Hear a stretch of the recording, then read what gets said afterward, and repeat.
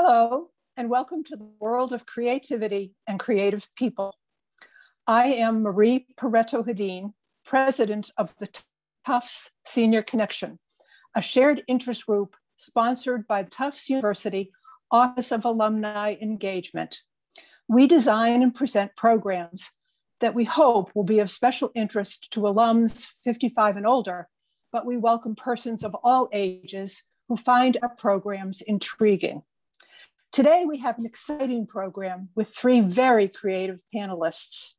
Our moderator is Barbara B.A. Shapiro, the author of The Collector's Apprentice, as well as the best selling novels The Muralist and The Art Forger, all set in the art world.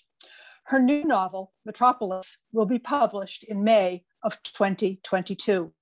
She is also the author of five previous novels, her books have been translated into more than 10 languages and have won several prestigious writing awards. A true jumbo, Barbara earned a master's degree from Tufts in 1976 and a PhD in sociology in 1978. She was an adjunct professor of sociology at Tufts and taught creative writing at Northeastern University. Before turning to writing full time, Barbara also directed research projects for a residential substance abuse facility, worked as a systems analyst statistician, and headed the Boston office of a software development firm. Fortunately for us, she likes writing novels the best.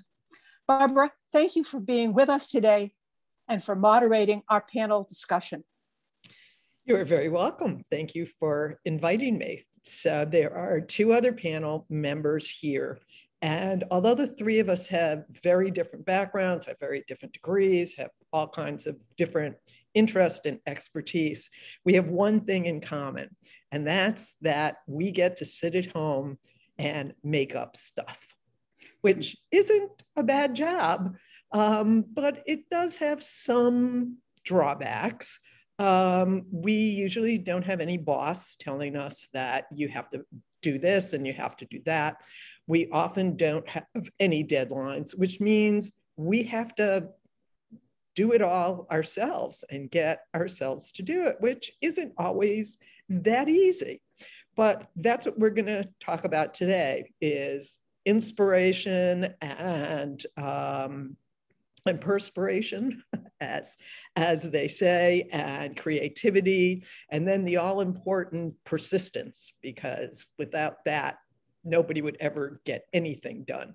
We're going to talk about how we're going to, how we find these things and how we corral them and how we use them together to produce a final piece of art.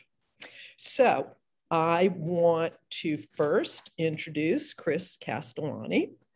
Chris is the author of five books, most recently the novel Leading Men, which is really good, uh, for which he received fellowships from the Guggenheim Foundation, the Mass Cultural Council, and the MacDowell. The screen adaptation of Leading Men is currently being written by Matthew Lopez, The Inheritance, and produced by Peter Spears, Call Me By Your Name. Christopher is on the fiction faculty of the Warren Wilson MFA program and the, and the Bread Loaf Writers Conference. His collection of essays on the craft of fiction, the art of perspective, which also is really good, uh, is taught in many writing workshops. He lives in Provincetown in Boston, where he is the artistic director of Grub Street, the country's largest and leading independent center for creative writing. Thanks for being here, Chris. Thank you so much for having me, Barbara, and thanks so much to Tufts Connect for having us here. I would like to introduce Jan Karlin. Jan is the Grammy Award winning, okay, now this is written in very small letters. you have it. Okay, is the Grammy Award winning, winning violinist and producer of 30 recordings. She is the founding executive director of Southwest Chamber Music, the Summer Festival at the Huntington, and the Los Angeles International New Music Festival. Ms. Karlin has performed in Europe, Mexico, and the US, and is taught at Pomona College at Claremont University. She led the largest cultural exchange in history in 2010 between the US and Vietnam, sponsored by the US Department of State. Currently, she and her husband serve as the first American artistic advisors to Vietnam, where they spend a portion of each year leading the Hanoi New Music Ensemble. Ms. Karlin earned a Bachelor of Arts degree from Tufts with a double major in theater and music and a Master's of Music from Boston University. Her memoir, What's Next? Creativity in the Age of Entertainment, won Reader's Favorite and Book Excellence Awards. So thanks for being here with us, Jan. So, thank you, Barbara. Thank you, Chris. And thank you to Tufts. I'm honored to be here. Very yeah. nice to be back at the community. Yeah, it's, uh, you know, it's kind of humbling to be with you guys, but okay. um, so, to start off, um, I'd like the three of us to talk a little bit about that elusive uh, inspiration. You know, where does it come from? How do we use our creativity to wrestle it into uh, something solid, a solid piece of work? So, Jan, why you're both a musician and a writer. So, can you talk about how inspiration differs in those two fields? Uh, if it does, maybe it doesn't because I don't have multi talent, so I, I, wouldn't know. and um, you know how. Um, if so, how do you work them through differently? And what about the creative piece? Is that different in writing and different in uh, creating music? Well, it's all creative. Um, one thing I wrote down, I was looking up, the Oxford Dictionary defines inspiration as the process uh, and process being very important of being mentally stimulated to do or feel something, especially to do something creative. So it is a process. I mean, when you're inspired, you're inspired from your family, you're inspired from your teachers. Anyone who is a writer is a reader. We all love to read, or we wouldn't have been become uh, writers. And I wrote as part of my career as a musician and as an executive director because I was writing grants from day one. I was writing, uh, helping uh, put together uh, booklets for the CDs, um, program notes. You know, it, it, there were all these things that had to do with writing. So, to be very honest with you, as a retiree, um, and I'm not writing now, but I had thought about writing a book um, probably about five years before I was going to retire. And I'm obviously not done. I'm still working in Vietnam, which is a thrill. But I was going to stop playing. Um, af- after having that thing under my chin for 40 years, I said, enough is enough. But what I used to do because of running an organization is I would get up first thing in the morning. And before I would go to the office, I would practice for an hour. So I knew that I was going to miss a very major hour or two hours of my life and I decided that I would try to write down about my experiences because I've had a very unusual career. And I wanted to share that with other people. And many people had been encouraging me to write a book, to share all of that. So, very different. I really admire what both of you do because fiction is something I don't know how that happens. Um, having studied plays, having studied music, um, I really admire people who can put together a story and um, put that into a book. My experience is very, very different because being a memoir. I admire people who can make music. I mean, to me, that's, that's, magic. So good yeah. for you. Thank and you. what about you, Chris? Uh, so you wrote, you generally write fiction, but you also wrote a nonfiction book. So can you tell us uh, a little bit about what those differences were in terms of inspiration and creativity? Sure. Um, I would I would say that for with in in both cases, um, both my fiction and nonfiction has come from obsessions. Um, so there, there, there are things that um, that I find myself thinking about when I should be focusing on other things, right? So they are characters um, that are in my head um, that I find myself talking to, that I find myself wondering what's going to happen to them, um, and um, and and so it's like you live with these people in your mind in fiction. Um, in this case. And so, and then after a time, you just, I love the idea of what, how Jan is talking about inspiring as a, as a verb, like inspiration almost as a verb. That's different from being inspired. You're inspired, you're inspired by something, so it feels passive, but, but, but, but but actually when you when you are inspired it prompts you to do something right? I love that that formulation. So actually inspiration becomes a kind of active thing. And so that that's where that comes in. I'm i'm thinking about these people. I'm wondering what's happened to them. I'm I, they're, they're pulling me toward a place. Um, and so some places i've written about have been italy in the 1940s have, have been an italian american community in um, the 1950s um, has been italy again in the 50s um, and um, and in multiple books. And and so it pulls me there and it and it and it makes me want to to to to put it on the page. And then the same thing was true with my nonfiction um, the the art of perspective the book of essays that i wrote. Um, i was obsessed as a writer with the question of narration um, about about how how to tell a story uh, how how a narrator tells a story and how stories are structured through a through various narrative lenses. That kept coming up in classes I would teach and workshops I would teach, and it got to the point where, and I was giving lectures and and and and seminars about it, and it got to the point where I wanted to to um, to not document it, but to kind of fully explore it in writing, um, and so that I could better understand it. Um, and actually, the last thing I'll say is that one of the main reasons I wrote those essays is because I couldn't figure out how to tell um, the the uh, like how to who was going to narrate the next novel that I was working on and how he was going to do it. Um, so I was like, I'm going to write a book about narration so that I can figure out how to write this novel, and um, and that actually, you know, worked to an extent. So.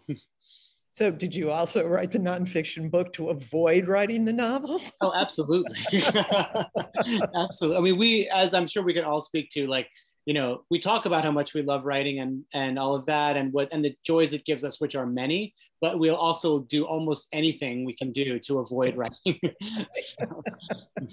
i just read a quote by uh, a german writer whose name of course i don't remember um, and he said that he tells his students you have to think about you have to seriously think about if you want to be a writer because if you do decide to do it, you are going to be miserable. And if you don't decide to do it, you'll be even more miserable.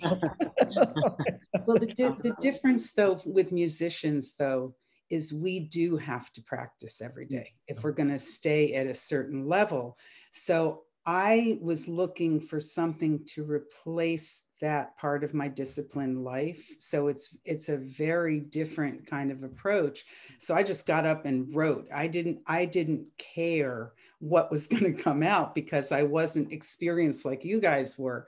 But I said, well, let me just start writing and that will get me over the hump of missing my discipline where I made music to start each day. You know if you start your day with bach it's a joy. You know? well you know the interesting thing about what you say is that i also teach and um, one of the first things i tell my students is sit down and write it wrong. Don't spend a lot of time planning or getting the sentence structure exactly right because you just need to get it out. And the, the advantage I would think of writing over being a performer is that you get to do it again and again and again before you put it out. You have to do it right every time. Mm-hmm. And so, my, my big my big challenge was that I had done grant writing for 35 years. And that's a very different kind of writing and not one I recommend because it's not creative at all but but you learn at least i learned how to just just like you say just sit down and start writing and not care about what comes out and then kind of shape it and at least i was able to use those skills when the book developed which was really yeah helpful. grant writing pretty much Horrible. No, I, have done plenty of that, Chris. I'm sure you've done plenty of that too. It's like, oh, please let me make up a story. right. Much more fun. Yeah. So in terms of my inspiration and creativity, um, I usually get an idea for a novel from something in the world. Um, a piece of news, a story somebody tells me, and it, I, Chris and I know how we each write, and we write very differently. Um, he's hearing characters in his head, but for me, I need to start with story. So I get an inspiration. So, example for for my new book, Metropolis, it was an article about people moving out of a self storage unit. You know, that was my inspiration. Then it's like, well, how could I write about a bunch of people who are who live or, or work in a self storage unit and make the story come true? So I, I have kind of a crazy process, but I focus on the story first. And my first draft is really, really bad, but I try to get the story out. Then draft after draft is, you know, getting the characters, getting the words, getting the environmental cues. Um, and, you know, they do say that, you know, um, it's 1% uh, inspiration and 90% perspiration. And that is exactly how I experience it. Uh, creativity, I, I, don't know. Would, would you two say that you're very creative? in in terms of, well i mean in in i mean i it's a funny it's such a funny question because of it, course i'm a creative writer so i right, have right, to say right. that i'm creative um, but um, but um, but i i guess i guess i would i i mean i think of it more in terms of drama for me like i i see or, and and and and um like i i see everything scenically and dramatically, right? I see every, and that part of that comes from my, I think my, my, um, my ethnic background. I come from a big Italian family. We're very, very melodramatic. Everything is a story. Everything is a drama. Every uh, all the emotions are at, at this pitch at all times. And so that's kind of also the stuff that I write about um, as well. And so in sometimes sometimes that and and and to get and to render it on the page, you of course have to use creative tools, right? You have to use you know point of view and imagery and and setting and all these things that are creative tools. Um, but sometimes it feels um, it doesn't feel creative because you're drawing on so much that you already know so well. Like in my case, I'm drawing on often on you know um, stories I've heard from family and and just being in in in that world. So you almost you almost feel like you're cheating because well I'm not being creative because I'm just writing about stuff I know. But of course the way you're writing about it is that you're writing creatively and and and you're and you're painting with words and you're dramatizing with words and you're including a soundtrack and uh, the cinematography and all of that and uh, you know in your novels and things like that. So in that sense you know i would say that that i'm a that i am a creative writer. So uh, but i don't but i don't know how to like you know uh, weave baskets or or do anything else nothing else creative i can i can i do yeah no. no you are you are creating something and i know as a musician there's a difference in music between the composer who is the creative person who is creating a work of art, like you guys are creating a book, as opposed to me as an instrumentalist, as a violist, where I was a, I'm a recreator. I'm not creating what's being played. I am recreating it so that it can be heard. And that was what was interesting about writing a book because I was creating something for the first time. But creative is is used very broadly. Um, and really, if you are creating something, you're creative. You know, it just depends whether um, one thing that I'm very, that I talk about a lot in my book is the difference between art and entertainment. And it was from my drama professor, the late Peter, Dr. Peter Arnott at Tufts, who said many years ago in a course about Greek and Roman theater that art makes you think and entertainment keeps you from thinking. And we need both. There's one is not better or different than they're different, but one is not better than the other. We need them both, but you have to understand the difference between them. And it's the same thing with being creative. You know, if you're just imitating someone, you're not truly creative. If you're just copying someone, those are ways to learn skills towards being creative but that's that's very different from uh, being a Steve Jobs or an Albert Einstein. They're creative. You know, they can be scientists or technical tech people, but they are creative. Um, yeah, in the broad sense, you know, obviously, you know, I'm a novelist, I, I'm creative, but I feel more in many ways like it's more craft, you know, and that I have um, uh, this my new mo- novel is going to be my ninth novel that I published, but I have written 14 of them. the old oh, you get published part. And so there are those skills that, you know, like Chris was saying, so you're, you're I'm pulling the story from real life, and then there are all the craft skills. And I just feel like it's, you know, that people feel that I'm creative, and I don't feel like I'm quite as creative as everybody else does. You're shaking your head, Chris. yeah, you're wrong, Barbara. Sorry. Um, because you're you're talking about creative tools, and and it's it's like saying like I mean uh, a paint a painter isn't creative because they're using a, a, brush. I mean, and a brush is not a creative thing, but it's what you do with the brush, right? And and so uh, I mean that's the way I would I would I would you know I would look at. I think I mean I've read your books. I know how creative that you know you are, and I know that you know other people. This is the way maybe you can think about it. Other people like you're you okay. So you heard that story about the self storage facility, right? I'm sure other people heard that story too. What did they do with it? Like nothing, right? they, they they didn't make anything out of it. They didn't apply any creative tools to it. And if they did, it would look completely different from from yours and and so you're bringing your sensibility your you know and your your craft and your imagination and all of that to your self storage story. And that's where the creativity comes from. And the guy down the street who would write it would do it completely differently and um, and probably less creatively i may venture. And and i think most fields have those issues you know a compose a composer has to put the notes down on the page. It's not just what's in his head or a painter has to get the canvas, figure out where they're going to put all that together, what medium they're going to use. That's all part. That's why what I said about process is really important. I mean, uh, the editing process of a book. Yeah.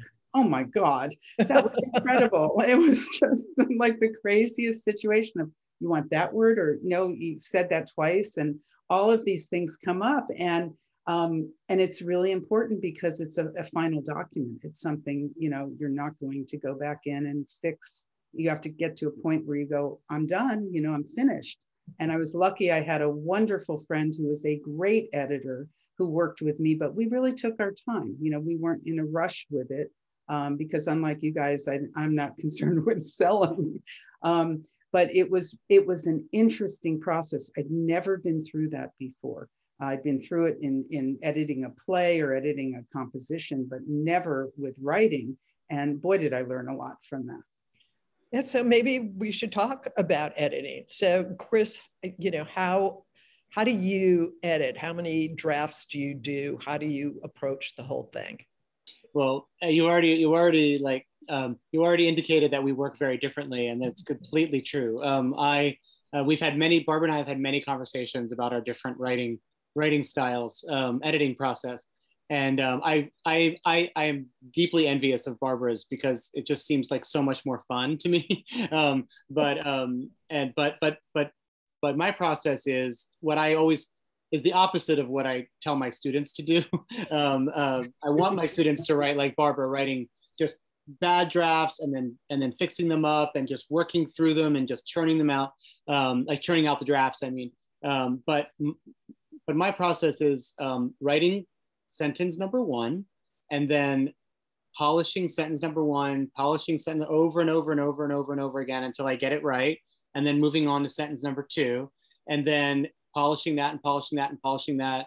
And then starting over with sentence number one. And then, be, and, and now that sentence number two has been written, it has changed sentence number one. So I have to start back at sentence number one and and and and it is exactly the most it is the least efficient way to write anything but i'm just someone who's deeply i'm obsessed with language and and rhythm and and the cadence of the, the words and and um and i and and and so that's not that it's not, not that not that's not important to other writers but for me like i can't move on to sentence three until sentence one and two are are where i need them to be. Um, and so that's a very painstaking process. Um, but um, the but what I've learned over the years, I think, is that the the the creative work that goes into polishing those sentences is actually the same work that would go into it if I was, um, you know, writing the whole thing out in a bad first draft. Because I'm doing the same, I'm asking the same questions like, okay, would this character say,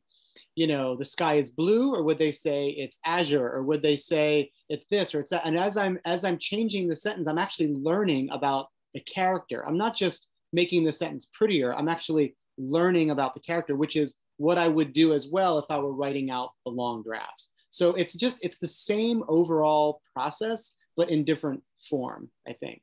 Um, so, and then I, once I get to about 50 pages of the painstaking process with a novel, um, it starts to go much, much, much faster. Like the sentences get, get um, much easier to write because I've, I've gotten to know the world and know the characters so well by polishing every sentence uh, about them so then I'm I'm just I'm working from better knowledge to to create the sentences that go to the rest of the book.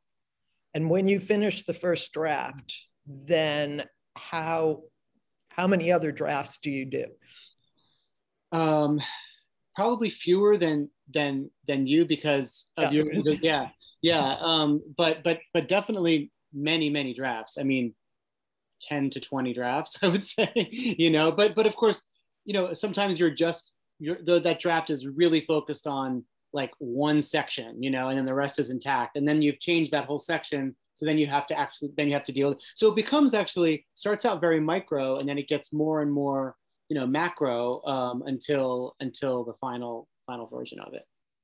See, for me, I do pretty much the opposite. Yeah. I, because uh, my first draft is all about story. Mm-hmm. And as I'm thinking, and story and character are actually two halves of the same coin.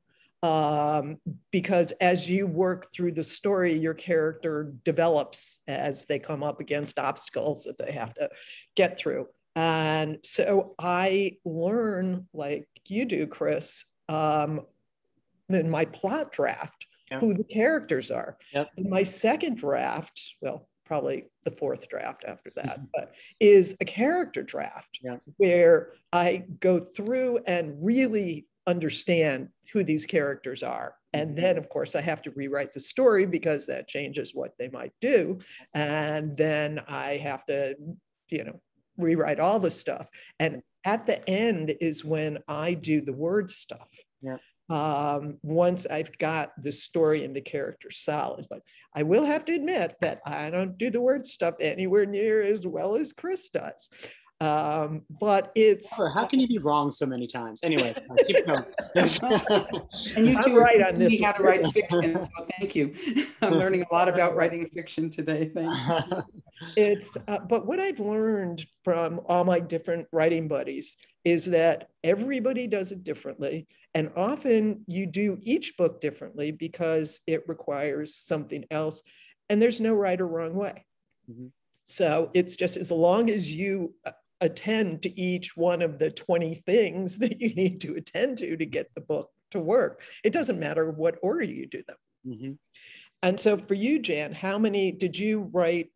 It's it's a memoir, right? So it, well, it's it's that's what's difficult about my book um, is that it's a memoir, but it also talks about the state of the arts right now. And what was happening was I was, I started clipping articles um, when I was working saying, I need to discuss this. I need to write about this. And, and I just started building this big folder. Dangerous, dangerous, dangerous. Bad, bad idea. I don't recommend it at all. no. So when I got to the point where I said, my friends, everybody was saying, you need a book, you need a book. Okay, fine. So my first try at it was about all those issues that I wanted to talk about. The fact there's no arts education now, the fact that um, what's happening in classical music, there just a lot of things that we don't need to go down that path today. But I wanted to write about them because I felt that I had some things to say. So I wrote what I thought were the issues. And then I took it to someone whose opinion I really respected and boy, did I get cut down to size. um, he looked at me and said, This is a memoir. um, you have to write what you know, and what you know is yourself. And there's not enough of yourself in there. And my editor said that as well, and some other friends who did some reads of some chapters for me. Um, I was so grateful to all of them for helping. And I so I had to get comfortable um, with writing about myself, which I didn't think was going to be the focus of the book. Once I started doing that, then it started to make sense that what I was talking about in the field came from my experience as someone who had performed, who had studied the arts and, and all of that. So, um, so I just kept at it and I kept trying to put more of myself in and had to say, okay, I've got to develop an ego about this and, and just say, I believe this because of these experiences. And that pulled it together. Um, and then I just kept editing and writing and tried to enjoy what I was talking about. It was a difficult field. I had to figure out if I was going to name names or if I was just going to be vague. and I ended up using some of those articles, using quotes from other experts in the field to be able to say, I'm not the only one who sees this going on. And I do talk a lot about inspiration, about how all sorts of artists get inspired, whether it's Picasso or whether it's people in science, um, Einstein being a great example, Steve Jobs being a great example. So I try to um, give examples of people from other fields, And just like we started off our conversation about how so many people are being creative. And yes, everybody's exposed to the same thing, but only creative people take it and run with it. So and that's Chris is going to agree with you on that one. What's that? I said Chris is going to agree with you on that one. Yeah, I, well, yeah. Barbara, it's okay. You too. Um, but to be able to come up with that story is, you know, other Chris is right. Other people would have might have seen that situation and not had the vision to write about it or or the drive or the hard work and discipline to write about it because well, this is, is another piece of it that yeah. that you have touched actually two things that you've touched on one is being able to take the criticism which oh, is yes. really difficult and i have had i have taught a lot of classes and i've been a lot of writers groups and the number of people who drop out or can't deal with it or refuse to you know no, it's my story. You know, you can't. Well, I'll, I'll be honest with you. And I got that criticism from the person I really wanted to have read the book. I was set back a year at that point. Yeah. I just stopped. It, it happens. I went, oh, I can't write this. I can't do this. I have no business doing this. I'm not. A, I'm not a writer. But then everybody around me, especially my husband, everybody else, they just said, no, you can do this, you know, just redo it, think about it. And I took the time to think about it. But again, I'm a musician. We get criticized for all the time. You're yeah. out of tune. You're not you, with that one. um, you need to um, practice more. So, so criticism, if you can't take it as a, I'm a performing artist. If you can't take criticism as a performing artist, you can't be a professional. And if you can't take criticism as a writer, you can't be a writer. I just I just finished the first draft of my next book and it's really really bad. And I gave it to my writing partner and uh, I also I gave it to some experts to check my facts and stuff. And so the experts thought it was great. My writing partner says, you got to start all over from the beginning. Oh, no. You got this is bad, this is bad, this is bad. And I said, well, you know, if the lawyer and the art therapist thought it was really good, she said, well, then go with them. yeah. What do they know about writing? She knows about writing. And, uh, but I think you get, you know, it's, it is about ego. And you just learn that if you're, if people are coming from a place of knowledge, that they're going to make it better. Yes. And that's, that's what you want. And it, is about the, and it is about the process because the criticism is part of that process. And can you take it and turn it into something constructive? Because as a musician, please, I want to know it's out of tune. I don't want to play out of tune. Yeah. I right. want to write this better, you know, in your right. particular case. You, you, and you're going for the right opinion, obviously. Yeah, right. Well, I wish I weren't, but that's a whole different story. Well, you know, yeah. you know, the other part of this is the discipline and the persistence part. Mm-hmm. So I have certain tricks that I do to get myself to keep writing. Uh, to Chris, do you have some tricks? How do you how do you get yourself to do it besides writing a whole other book? So you it is. I I will put out a plug for that, like of of, of working. Uh, like working on also two on two projects at the same time because um, because while I was working on the essays, I was kind of dabbling with the novel, trying to figure it out. And when I would get tired of, or I would get frustrated with the novel, I would work on the nonfiction. And it, and it, there's no, there's something that feels good about, you know, being transgressive, sort of cheating on your on your on your book. Like, ooh, like I'm gonna cheat on my book by working on another book. And so you're treating, you're, you're like thinking that you're doing something bad and transgressive, but really you're still working. Um, so that, that's, that, that's one little trick that you know that that that that I've done. But more practically, it's it's really this is not something other people haven't said, but really just treating a very creative, messy process as like putting as many practical restrictions around it as possible. So treating it like a part-time job, like um, uh, showing up. Every, I put it on my calendar, like you're writing from 9 a.m. to 1 p.m. Um, and sometimes your, your, your, your, your, you know, your minimum is 500 new words or whatever. And so you, you make it into something very mundane and, you know, like you were have to do your taxes or something that day. And, and you show up to that um, every day to do that. And then you stay there, whether you're right, you know, no matter how frustrated you are with it. Um, and um, so, I mean, that's the, you know, again, it's, it's common, sort of common trick um, and then one other little like uh, trick that I've learned, well, two other ones that I've learned lately, and, and I'll keep them short. One is um, the Pomodoro method. Do you know about this one? Where um, where you write for 25 minutes, but where you turn off all of your, you know, you, you shut your internet down, turn your put your phone away, and you set a timer for 25 minutes, um, and you just you're committed to those 25 minutes, and then for five minutes, that's when you can check your email, then you can like answer the phone and check and see, make sure the world's still spinning. And then you go back to, and you go back for another 25 minutes. So these like little half hour blocks, like 25 plus five, because part of my frustration sometimes, I'm like, I'm so curious, like what's going on in the world? Like, should I check my email, whatever? But like, if I know I'm only going to do this for 25 minutes, I know I can wait that long to, to check my email.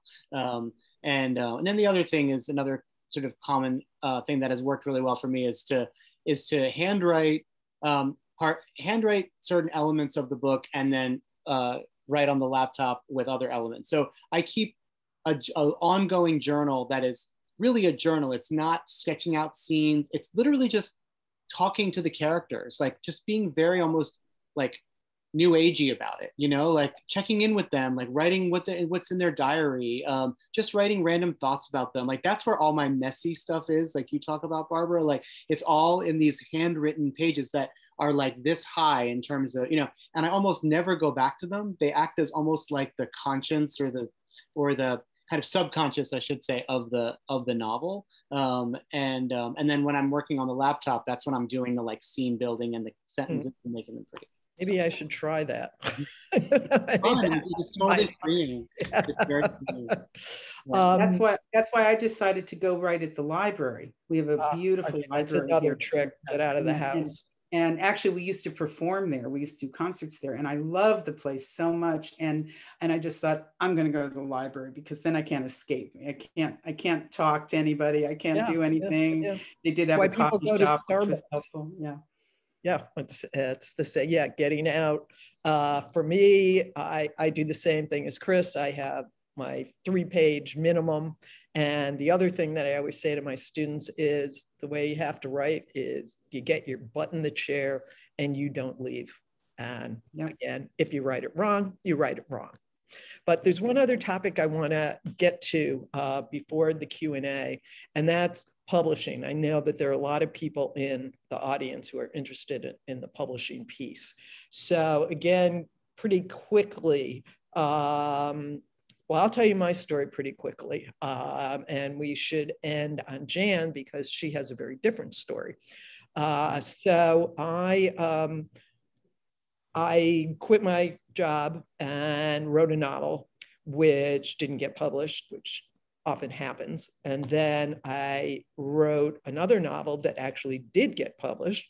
And then I got four more after that published, but nobody read any of them because they were published really poorly. Then I wrote three more novels that never were able to get published. And I was going to quit. And uh, then I decided to take one more shot. And I wrote a novel that turned into The Art Forger, which was, you know, my breakout book.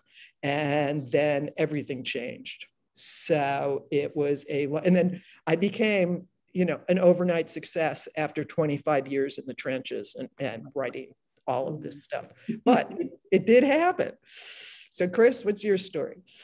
Um, well, quickly, I want to say, you know, we mentioned earlier this idea of criticism, and and and, and related to criticism is rejection, right? And essentially, what Barbara you dealt with in many ways was rejection, and just like with criticism, yeah. you, you dealt with it and you and you pressed on. And I do think the difference between, for lack of a better word, like real writers or real artists, are that you that you kept on, like you just kept doing, it. and you said you were going to give it one more try with the art forger. I don't again, I don't believe that either. Yeah, because right. if that hadn't worked, you would have kept going. Like oh, you would have still kept going because it mattered to you, right? And and you in a way couldn't live without it on some level. So um, so I do think that's the difference between writers who end up publishing or end up being however you define success um, and, and, and, and writers who don't is that it, it, if it matters enough to you, you just keep doing it. Like you just keep taking the hits, Crazy. criticism, um, rejection. You just keep taking it and keep going back to it because it matters so much to you.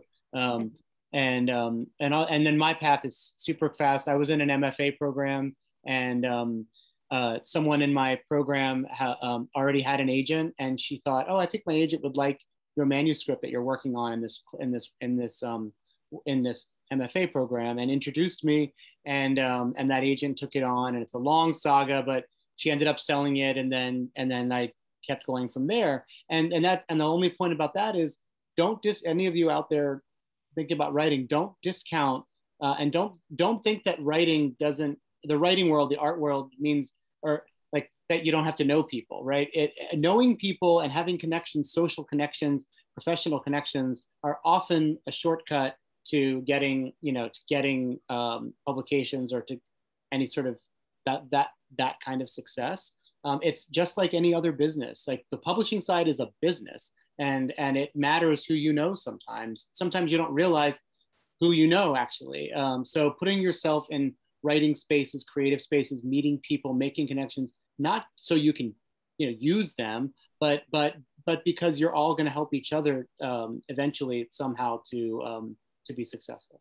Which we all do. Mm-hmm. So those, those were two very different publishing stories. And so Jan, uh, quickly tell us your publishing story. So as a musician, you are used to being turned down. You are used to having to come back and try again. So I'm a very determined person. And so I thought, well, with my credentials and all this, somebody will publish it. To make a long story short, I tried the agents. I tried the publishers. I have a cousin who is a multiple Newbery Award winner with one of the top four publishing companies. Luckily, I got a great quote out of his publisher, who at least told me I had a compelling book, but at my age and with the subject matter, they couldn't sell it. There's no way. A publisher has to know how they're going to market the book. And so I was getting very depressed. And luckily, I, you know, I do research and I found that there was such a thing as self-publishing. And since I know there are a lot of seniors in the audience today, if you want to write, do it. You might not get a published book, but if you want to write something, go ahead. But self publishing today is a great alternative. There was one question about someone wanting to publish their father's um, photos and things. You can do it if you want. You won't sell it, but at least you will have it in hand. So luckily, the company that produced the last two um, CDs that we did of the 30 um, has a publishing arm, and they're called Book Baby. And I they are, I recommend them highly, and at least you can take a look at them for self-publishing. But the thing is, today all authors have to, whether you're traditional or self-published, you have to spend time on social media promoting doing both of you two uh, do a great job at it. And it, even if you're self-published you have to do all of that. There are awards you can get. There are so many resources um, they can put your book up online. Uh, book Baby has a hosting thing so that you can connect to Amazon and to all of the uh, top selling sites. So um, just look up self publishing. There are lots of companies, and you just find one that's a good match for what you want to do. And I had a wonderful experience with mine, and I have my book published. All so, right. um, and there's ways and and uh, to, to give them out and you're not going to get rich, but you at least have the satisfaction of knowing you are a published author. You definitely published author. Excellent. It's not, it's, it's not, I would say it's not second class, it's an alternative. Mm-hmm. Um, and so it's a good one. That's that's good. All right. Well, I think there are quite a few questions. So I'm going to turn this back over to Amy and she's going to read the questions. Hi, I just want to thank you guys for being here. This has been amazing so far. Um, I think you have a lot of aspiring writers and people that didn't know they wanted to be writers um, or mm-hmm. musicians or artists before getting here. So I appreciate your time.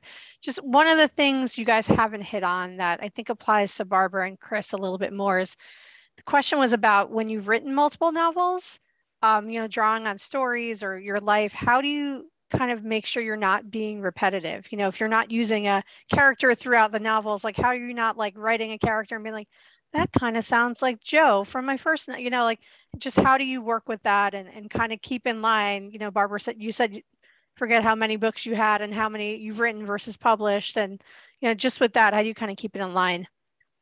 I don't.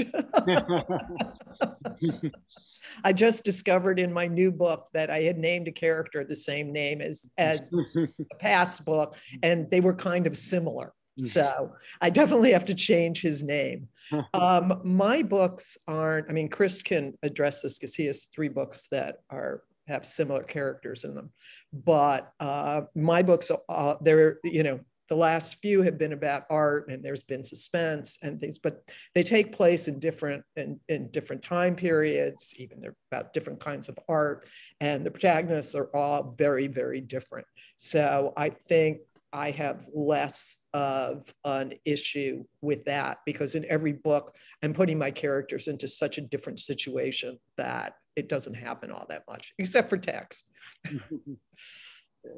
And i would say that i mean honestly i just all I'm just telling the same story over and over again. and, and then all we do is tell, I mean, I feel like so many writers I know, it's the same story over and over again in different ways. And and one one example is I can't somehow not write mother-son relationships. Um, and, and and and in my in my more recent novel, my most recent novel, which was about the relationship between Tennessee Williams and his partner, I was like, well, there are no mothers and sons in this story, and and um, and I ended up, and I said, I'm not going to write a mother and son, and then I ended up writing a character, two characters, an older woman and a younger man, who weren't technically mother and son, but they had such a mother and son relationship, and I did not realize this. I'm embarrassed to say until maybe a year after this book came out, right? Like that, it did not occur to me that that I had recreated a whole other maternal you know mother son relationship. So almost like it's kind of amazing at how much time we put into each of our books and yet how much of it remains mysterious and how much of it remains subconscious and and we can try as hard as we can not to tell the same stories or to or to go back to the same well for different thematic stuff and it just comes out you know? Um, so yeah that's what i would say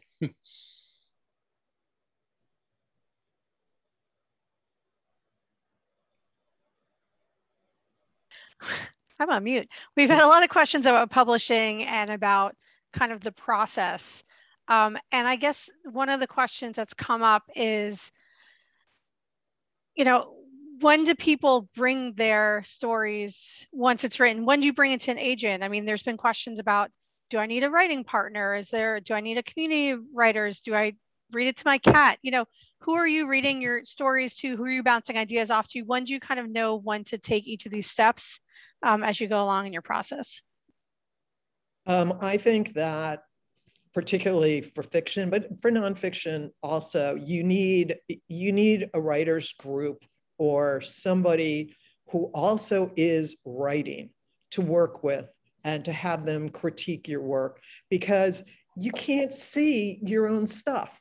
I mean, when you're writing, you're like here in the in the you know down and dirty stuff, and you need somebody who can see it and give you can see it as a whole and then give you constructive criticism and it's got to be somebody that you trust mm-hmm. but even after all of that and all of the and like i have friends i know chris does too writing buddies and we swap manuscripts after they're pretty well you know eh, after after 10 15 drafts mm-hmm. and uh you know then you take all of this in and you make the changes that you want and you still don't know if it's ready Mm-hmm. Sometimes it's good to have a deadline, you mm-hmm. know, or. Uh, but it's also, it's also different for you guys being fiction writers as opposed to a nonfiction where in my research, you know, it's the agent who hopefully, you know, getting the agent who will hopefully shop it to the publisher. And please correct me if I'm wrong. Mm-hmm. And then at that point, you know, they shop it around to the different companies. And I went through that process. I mean, I did my research. I tried to match up my subject matter. I tried to play up my Grammy Award, all of those things, and mm-hmm. nothing worked. Absolutely nothing worked.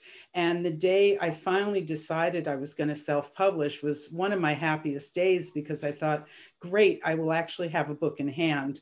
And the other process, I'm just too old at this point, And I had to accept it and accept that my subject matter was not something broad that was going to make money, but that's not why, why I wrote it. I mean, my, I'm advising a young woman in Vietnam. She's read my book cover to cover. Boy, has that saved me time in advising her. so, so it's been worthwhile. And I loved the process and I loved what I learned about publishing. But I also wasn't ignorant about it because we had 30 CDs, which is a similar type process, of yeah. process. It's not the same, but it's a similar type of process. Um, I would also note that it has nothing to do with your age. Mm-hmm. you know, it really so? doesn't. It really doesn't. It, it's not an age-related thing. I think you're right. It, the to- it was topic related. Well, know, it was also, uh, shall I say, not so much age, but am I going to be able to write another book? That that that Why the not? agent, well, but that the agent wonders that since this is my first book at this age, and then you say, there. "Yes, I can write another book." I don't know. And then you have to do it. yes, there you go. I mean, people uh, people forget that when they get, you know, rejected by an agent or whatever that you know of course my immediate reaction is always well i'm i'm it, i'm terrible like i have no talent right but but we but again it's a business and the agent only cares about whether they can sell that book to as many people as possible which jan said. And that doesn't necessarily mean that it's a good book or a bad you know it the, the, like it's not a verdict on the quality it's a verdict on the marketability of it. Um, and so if so you had mentioned that your topic may have been like not have a wide as wide a range as they would want and that is a perfect um, situation for for you know for self-publishing because then you have control and then you're marketing to directly the, to, the people who the you people know who want it yeah. who want it and and some people no matter what their age I like I know writers who do both they have an agent for some of their work and then they have and then they self-publish other of their works that they know are going to have a probably a smaller reach right. and um and and and and they also to, to be self-published i think you have to have a kind of like love for the for the marketing side for, you have to be sort of well organized you have to be um, you have to be patient and deal with all kinds of logistical things i have none of those skills so i i just need, need an agent hand it over i need an agent to hand it over to that person to deal with the business so that i can focus on the on the creative side of it. Um, marketing and I mean promotion, like going out and giving readings and all, that's a different thing. That's a whole other. That's step three. Um, and, and I actually really enjoy that part of it. Um, it's the publicity I like, marketing I don't like, if that makes any sense. Um, and, uh, and obviously the creative part I, I like the best. Yeah. All right, probably got a couple more minutes, a couple questions. One, we've had a couple uh, forms of this question is how, you know, Chris, you said when I sit down 25 minutes, I turn my phone off, you know, or I'm, I'm going over this one sentence a billion times, blue or or I've, I have that in my memory now. But how much for each of you is in your mind when you're sitting down? You know, do you have it? How much research has gone in or how much you know, how far along are you on the story? Or are you kind of just starting with this character or starting with this sentence and then just it builds from there? I think a lot of people are kind of stuck on, you know, they have these ideas, but when do they sit down and write? Yeah. And I'm sure oh. it differs for all of you. Yeah, it's different for everybody, but I'll use the familiar um, quote um, from E.L. Doctorow, which is always the one I always go back to, and I've heard it a million times, right? Is writing a, dry, sorry, writing a novel, I'll mess it up though. Writing a novel is like driving a car at night. Um, you can get the whole, you can get where you need to go that way. Wait a minute, I am going to mess it up. Yeah. you, Barbara, you say it. No, no, I, am going to mess it up too. Yeah, yeah.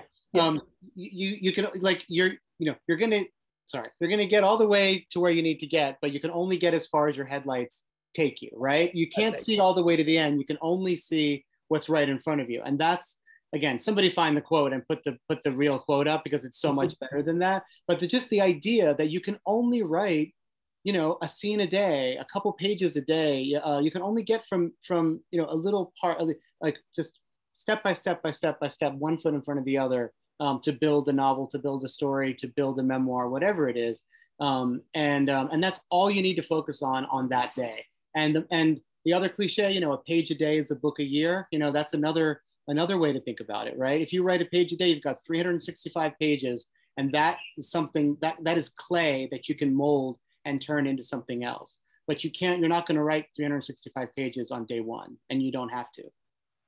And they would be really bad. And one last question, because we're, I know I want to make sure you guys each get a chance to answer this. Um, I know this, you know, this is Tufts Senior Connection. We have some retirees on this call, but we also have some current students as well.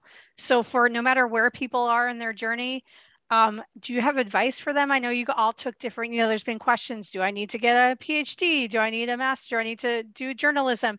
You know, you've all taken different things. So what advice, if you can go back and talk to you 20 years ago or 30 years ago would you give um, to those people who are looking to do this? You know, obviously you can start at any age, but especially for those uh, the current students that are on the call.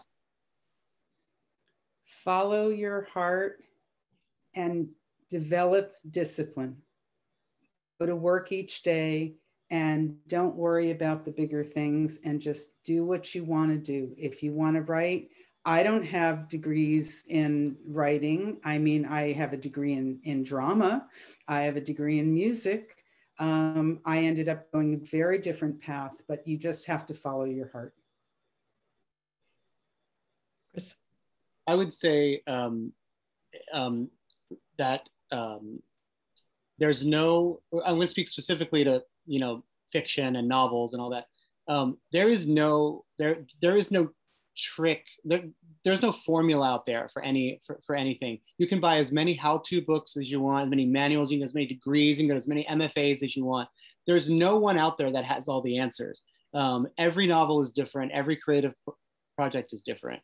So um, you like the way to figure out what kind of book you want to write is to just write it in all the ways that we've been talking about and to read as much as humanly possible. Um, because reading just it just builds reading is the exercise of writing right? It is building all your muscles. The more you read the more you're building up all your muscles to be able to get you to to write the thing that you want to write. I couldn't agree with that more. So if you're interested in writing fiction read novels and you will develop a kind of muscle memory for story and character that will take you much farther than any specific academic. I mean, I have three degrees in sociology. I never took a writing class until after I wrote my first book that didn't get published. And then I took a writing class at the Cambridge Center for Adult Education. That's, you know, I, I didn't have anything. And I'll end by saying that Chris once told me that that was a good thing that I wasn't contaminated by an MFA program. So, you know, whatever, I think all of this advice is really good advice. And if you really want to do it, just do it because Let's do why it. not? Absolutely. And I will say the MFA was work for some people, but, but if you if you don't have one, that actually also can be an advantage too. It's it's whatever you've got, you know, it's whatever anyone can do. This is the other beautiful thing about writing. Really, truly, it is the most portable art form. You you can anyone can do it. It is you and you can do it anywhere and um, and and anyhow. So um, there's no there's no right or wrong way. It's it's endlessly endlessly possible. and study the people you admire. You know, if there are writers that you love, find out what their path was. Doesn't mean they're going to teach you, mm-hmm. but you should at least find out what their path was and say, how did they become someone I really admire? And, and that usually leads you down the right path. I also want to thank Carrie. I, I dropped it in the chat, but I don't know if the panelists saw. Writing is like driving at night in the fog. You can only see as far as your headlights, but you can make the whole trip that way.